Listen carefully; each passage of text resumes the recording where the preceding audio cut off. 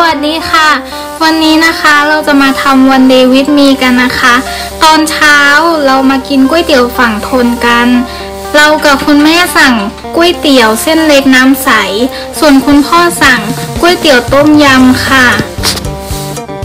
ดูสิก๋วยเตี๋ยวของเราใสมาก อย่างกับก๋วยเตี๋ยวเด็กเลย เวลาไปที่โรงเรียนเพื่อนก็จะชอบถามว่า กินไปได้ยังไงเนี่ยก๋วยเตี๋ยวที่ไม่ปรุงมันอร่อยเหรอ พอเรากินข้าวเสร็จนะคะ เราก็จะไปทำโครงงานที่โรงเรียนต่อ ดูสิของเราเยอะมากเลย อันนี้นะคะก็จะเป็นหน้ากาก N95 คือเรางงมากเลยว่าคนที่เขาใส่ทั้งวันอะ่ะเขาอยู่ได้ไงคือเราใส่อะ่ะ แล้วมันแน่นมากแบบแนบชิดผิวหนังเลย ใช้คำว่าายใจลำบากมาก ตรงนี้นะคะเราก็จะเขียนโค้ดลงโปรแกรม จากนั้นก็จะเริ่มทำคำสั่ง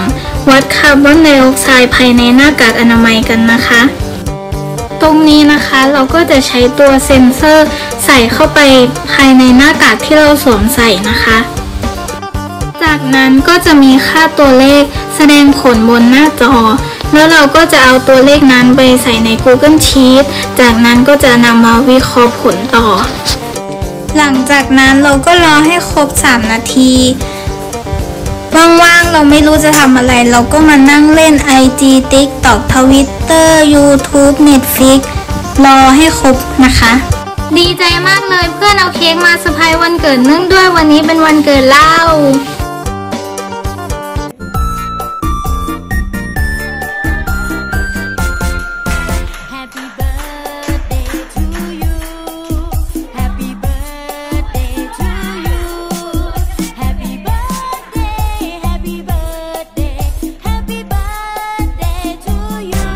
ทำงานเสร็จแล้วค่ะเดี๋ยวพี่มาต่อเสร็จครึ่งหนึ่ง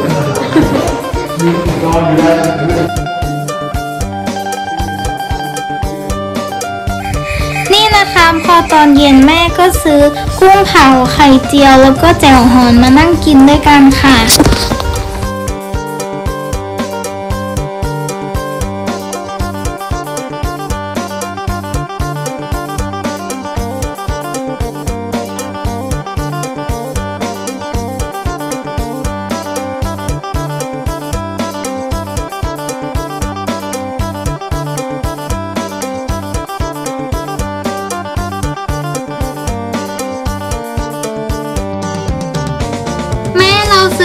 มาแพงมากเลย กล่องละตั้งห้าร้อยแน่สองกล่องก็พันหนึ่งละสุดท้ายแล้วก็ขอบคุณที่เข้ามาชมกันนะคะ ถ้าใครชอบก็อย่าลืมกดไลค์ กด Subscribe แล้วก็กดแชร์ และคอมเมนต์ให้ช่อง Fanta Organic Garden ด้วยนะคะ วันนี้จบแล้ว สวัสดีค่ะหูยเค้กน่ากินมากเลย อร่อยด้วย